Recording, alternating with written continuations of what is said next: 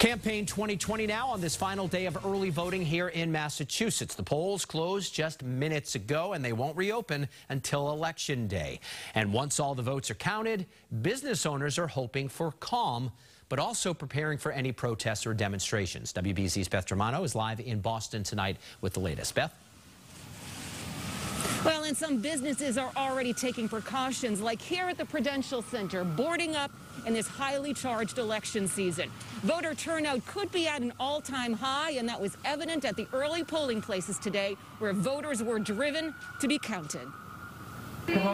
With just hours to go before early voting closes out, this Newton polling place was ushering in a steady stream of energized voters. This year it feels like really big deal. I feel like every vote counts no matter what state you're in. In Newton alone, officials say 61% of voters have already filled out their ballot either in person or by mail. And voters here like to say it's done. Just getting out there and voting early, making sure it's done, just gives me peace of mind. Just want to make sure that I get my vote in and that there's nothing that can get in the way. Some admit to COVID concerns on what they believe will be a crowded election day, and some to ballot security. But Attorney General Maura Healey urges calm until the final result. I'm confident in the system. I'm confident in our ability to protect the right to vote and to ensure that votes are counted.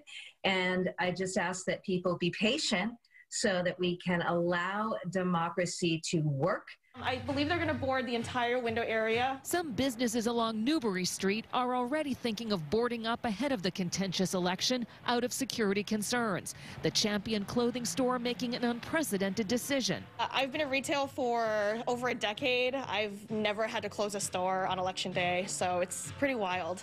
At the Prudential Center, some storefronts have already been boarded up. And retailer Betsy Jenny will lock the gate to her merchandise, having experienced the civil unrest of last June. Let's say I am being cautious, but I'm not overly concerned.